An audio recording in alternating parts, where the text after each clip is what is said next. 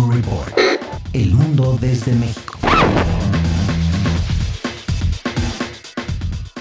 Hola, ¿qué tal? Yo soy Ciro Di Costanzo y estas son las noticias. Alerta en el Japón. El tifón Wipa, considerado el más fuerte de la última década en la zona de Tokio, ha rozado esta madrugada al este de Japón para luego dirigirse hacia el noreste, en donde se encuentra la accidentada central nuclear de Fukushima. Según la agencia meteorológica japonesa, Wipa se mueve a 30 kilómetros por hora. Además, Valen y genera vientos de hasta 180 kilómetros por hora. Ya ha causado estragos en Tokio y en las islas del este, y eso que solamente las ha rozado. Hasta ahora autoridades han reportado 13 víctimas mortales, cifra que pues desde luego puede variar. Y vámonos hasta el Vaticano, en donde se cierra la era Bertone. Tras siete años de mandato, se cierra la era del polémico y poderoso cardenal Tarciso Bertone al frente de la Secretaría de Estado Vaticana. El Papa Francisco dio el cargo al arzobispo Pietro Parolin como secretario de Estado del Vaticano, quien por cierto no pudo ir a tomar el cargo ya que tuvo que someterse a una operación urgente, pero no importa. El Papa Francisco recibió el nuevo número 2 de la Santa Sede in absentia, que quiere decir en ausencia. Explicó que el prelado se va a incorporar en las próximas semanas. Con ello se acaba la era Bertone que estuvo llena de intrigas palaciegas, de filtraciones comprometedoras, de acusaciones de malos manejos de la administración de la curia romana y claro, una grilla de muchísimo cuidado.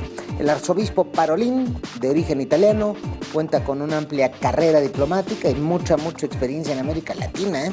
Hasta ayer el anuncio del Vaticano en Venezuela, o sea que está acostumbrado a las altas temperaturas de la política, representa el inicio de una nueva era de las relaciones exteriores de la Santa Sede y el inicio de reformas a fondo de la curia romana, ya que además de tener control sobre la diplomacia, pues va a tener control sobre las finanzas del Vaticano.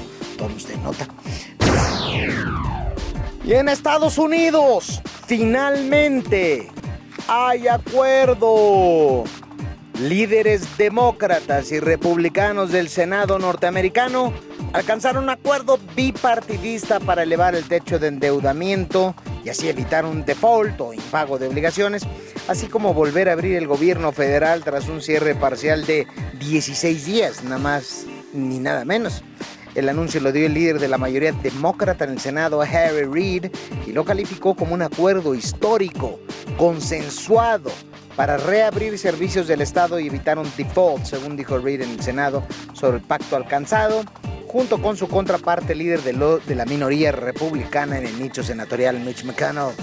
El presidente Obama felicitó a Reid y a McConnell por llegar a acuerdos e instó a moverse rápido para levantar la parálisis del gobierno y sobre todo recuperar la confianza de los Estados Unidos. Pasará por la égida de la Cámara de Representantes, liderada o dominada por republicanos. Se espera que no pondrán mayor resistencia y también desde luego pasará de manera ya prevista por parte del Pleno del Senado de los Estados Unidos. Y con ello evitaron una catástrofe económica.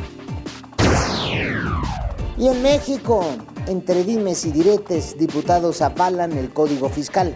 El Pleno de San Lázaro aprobó el dictamen en lo general de reformas al Código Fiscal de la Federación con 400 votos a favor, 57 en contra y dos abstenciones.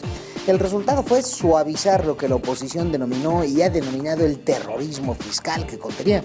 Entre otras cosas, se corrigieron pretensiones como establecer una cláusula antielusión que dotaba a la autoridad hacendaria de facultades extraordinarias para determinar de manera discrecional la tipificación de un delito de fraude sin comprobar sólidamente la responsabilidad del contribuyente.